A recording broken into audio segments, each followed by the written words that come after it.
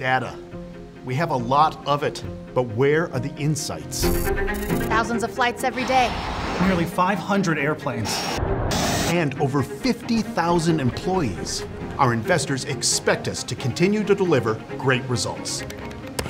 There's data. It's not real time, it's not informative. Wouldn't it be nice to have a system that took the data and put it all in one place?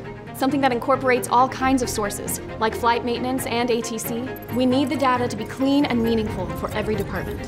One dynamic dashboard with all the info on it. We can make real time decisions based on the data it's capturing. This system would mean efficiency. It'd take the thousands of parameters that could affect a flight to create better flight plans. Increased on-time performance?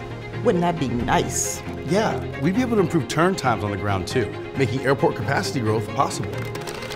Better control over costs. Higher profits. It will give us fuel consumption patterns, which means more efficient fuel use. A system like that would give us actionable data. One glance, and we could see how we could reduce equipment needs on the ground. And we could monitor fleet health and performance. Improve turnaround times. Safer, more efficient flights that are on time. Instant flight performance reports? A holistic approach to flight and fleet management? Wouldn't, that, be nice? A dashboard like this would also give us predictive maintenance, which means avoiding downtime. Fewer delays and cancellations, more flight options, get our passengers where they're going on time.